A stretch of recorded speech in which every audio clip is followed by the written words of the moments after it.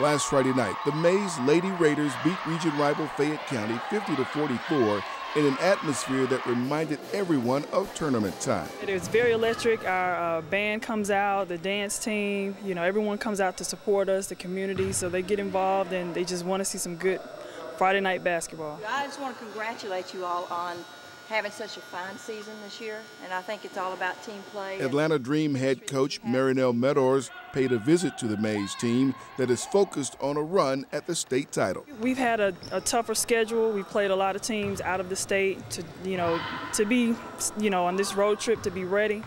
And um, I think that it's paid off, and I think that we're just peaking at the right time, but we're not finished yet. I mean, our ultimate goal is to win the state. How important do you think chemistry is for your team going into the uh, final month of the season and then trying to get into the state championship and, and win that? It's very important because without chemistry, you won't understand what type of players are on the court, what type of pass your players like, and that chemistry I think our team has, and we're ready to do what we have to do to win for a big, big win last week on their home floor against Fayette County. Number one in their region now, headed for region tournament time. And to the state tournament, we're going to make Mays, these Lady Raiders, Operation Basketball Team of the Week. Come on, Coach, give them the game ball. There you go, guys.